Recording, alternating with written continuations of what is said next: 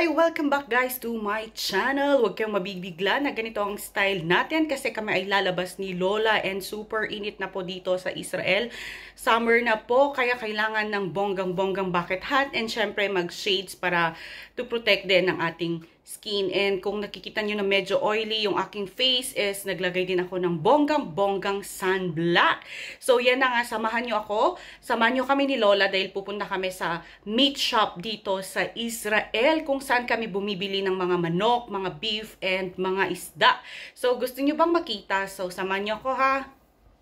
So we are here na guys and of course inuna muna namin itong chicken section kasi pagpasok mo dito sa um, um, meat shop na ito ang first na makikita is itong chicken. So yan medyo bliner natin si Lola of course for privacy din and sasabihin ko na lang sa inyo yung presyo ng chicken pero tingnan nyo muna i-appreciate natin itong shop kasi malinis itong uh, meat shop. So, yan. So, ang isang kilo ng chicken dito is 29.90 shekels.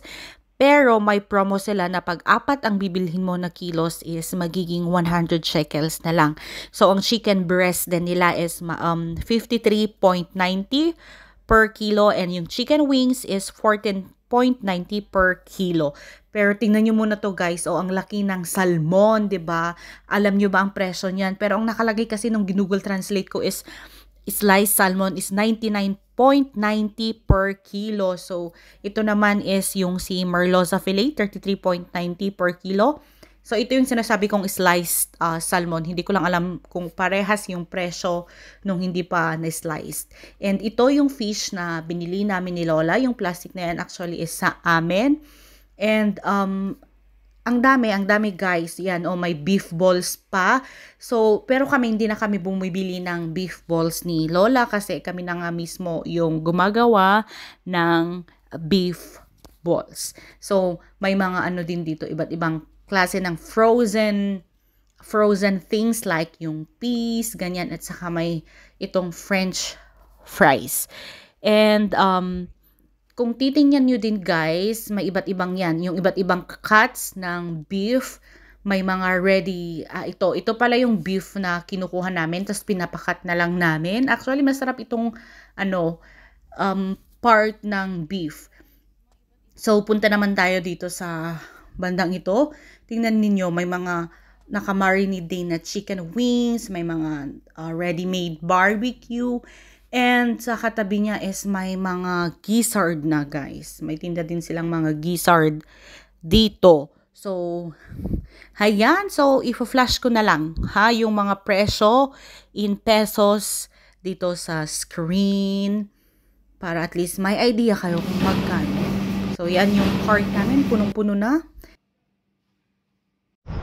So ayan guys, na ihatid ko na si Lola dito sa amin and babalikan ko na yung aming pinalengke kasi syempre hindi ko kayang pagsabayin na buhatin yung pinalengke namin at saka itulak yung wheelchair ni Lola. And alam nyo ba sa Israel ang kagandahan buti na lang may ganito sila oh. Yan. At least kahit na medyo mabigat hindi medyo mabigat talaga is at least nakakatulong to So, samahan nyo ako. So, yan, samahan nyo ako. Baka pawis-pawis na ang aking mukha, pero okay lang yan. Ganyan talaga. Let's still be grateful, di ba, sa ating mga jobs and we thank the Lord. Kukunin na natin medyo mainit na, mainit na, hindi lang medyo pala mainit na kasi nga kagaya ng sabi ko kanina nasa 27 degrees pero thankful at least 27 hindi kagaya ng 30 plus degrees. Alam nyo ba pag 30 plus degrees guys, masyadong mainit na masakit sa balat. So, yun, ganyan yung ginagawa namin ni Lola pag bumibili ng mga karne kasi syempre hindi ko kayang pagsabayin na iuwi si Lola at uh, yung karne, 'di ba? Pero tumutulong din yung mga anak, guys, ha. Pero syempre, nakakaya naman kasi lahat sila may work. Eh alangang hihintayin pa namin na matapos yung work nila. So, might as well ganito na lang para at least lumabas din kami ni Lola tapos yan see you doon sa may meat shop na ha kasi mainit na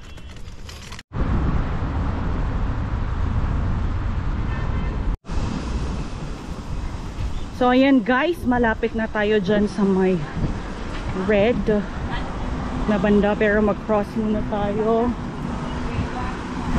Nakikita niyo ba itong ramp? Hindi masyadong halata sa video pero yan o patas. Dito ko tinutulak si tinutulak talaga. Pinupush yung wheelchair ni Lola so medyo mahirap kasi medyo mabigat si Lola. Pero anyways, let's be thankful nga sa strength pa rin na binibigay ng Panginoon sa atin, di ba? Sa work na binibigay niya. So ito, yung red, may color red yan, yung meat shop na pinupuntahan namin.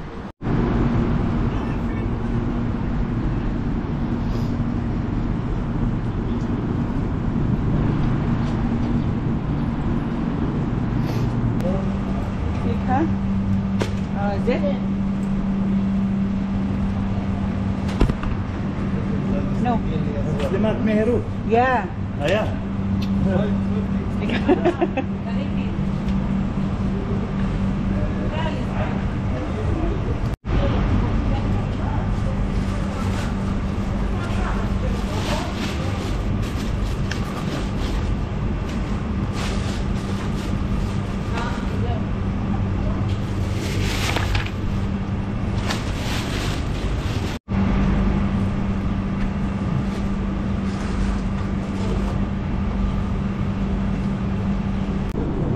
there you go guys, nakuha ko na yung pinalengke namin ni Lola. Ang bigat, mga 15 kilos siguro to.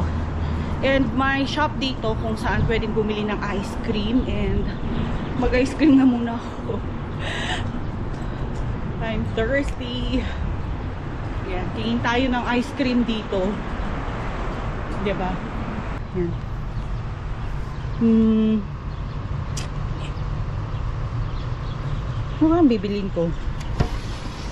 Kasi may dito na lang.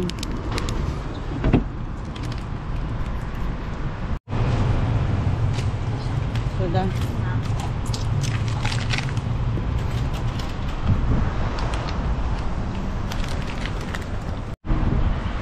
So ayan, kain muna tayo ng ice cream guys. Guys tuloy. Kain muna tayo ng ice Ay, sayang. Kain muna tayo ng ice cream, ice cream guys and magpahinga din ng konti habang kumakain. Alam nyo ba, lalo na yung mga kapwa ko OFW or hindi lang sa mga OFW sa ating lahat. Di ba, alam naman natin, nararamdaman natin yung katawan natin. Kapag kailangan na nating magpahinga, ipahinga po natin ang ating katawan kasi uh, health is wealth talaga. It may sound very cliche but it's very true. 'di ba? So, kainin ko muna to and after nyan, balik na ako kay Lola.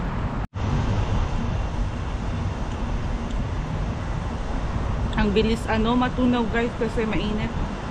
Paulit-ulit na ako sa mainit no, pero mainit talaga promise. So there you go guys. Tapos na tayo nag-ice cream and balik na tayo. May part to tong vlog na to kagawan ko ng haul kung magkano itong mga karne.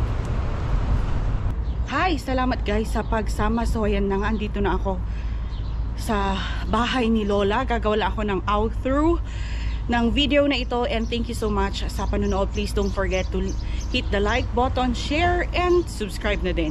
And let's, may part 2 pa tong video na to ha. Gagawa ko ng haul kung magkano ba yung mga products ng mga meat, mga fish, ganyan dito sa Israel. Thank you so much and I'm gonna see you in my next one. Sana magawan ko yung video na sinabi ko. Bye!